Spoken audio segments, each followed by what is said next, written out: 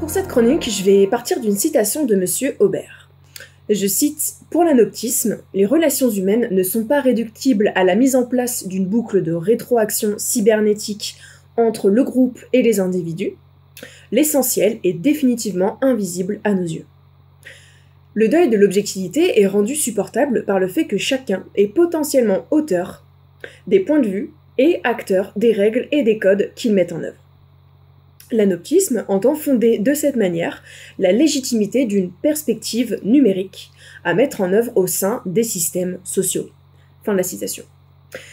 J'ai décidé ici d'aller encore plus loin que le numérique pour vous parler des pouvoirs de la physique quantique que notre invité aborde déjà dans son ouvrage.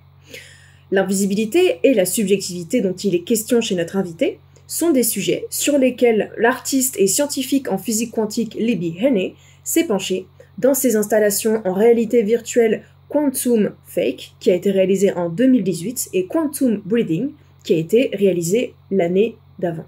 Quantum Breathing a pour but d'immerger son utilisateur dans une expérience interactive.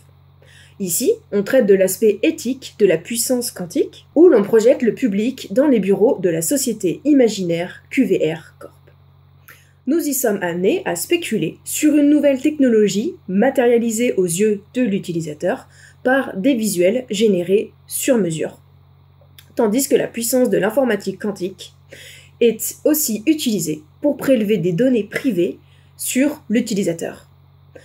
Mais là où la physique quantique est utilisée pour lire dans l'esprit des potentiels consommateurs, pour en extraire de l'information, Quantum Fake, en revanche, s'intéresse à la protection des données à travers le concept de la cryptographie quantique.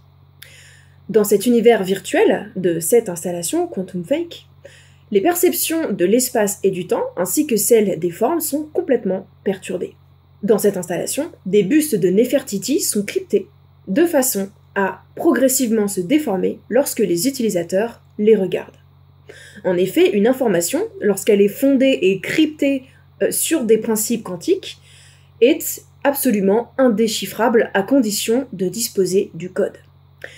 Ce qui est matérialisé ici par la déformation des bustes, puisque nous ne sommes pas à même de comprendre le message qu'ils renferment, nous ne pouvons pas les voir et l'espace et le temps se distordent. Le propos de cet artiste scientifique est justement que le quantique, cette nature invisible, va faire entrer l'humanité dans un nouveau paradigme, lorsque celle-ci se la sera pleinement appropriée, permettant ainsi une interconnexion entre une pluralité d'individus et de visions du monde. La subjectivité aura ainsi un rôle primordial dans la société quantique. Ces deux œuvres montrent également les pouvoirs de ce matériau quantique, de cette physique, qui peut servir des causes très différentes, bonnes ou mauvaises, en fonction des jugements de valeur qu'on leur accole, et montre aussi que l'utilisation de ces capacités, de tout ce que la physique quantique peut engendrer, reste éminemment On peut décider soit d'en faire un outil pour faire avancer les sciences sociales et l'interconnexion entre les êtres humains, ou bien on peut s'en servir comme une arme.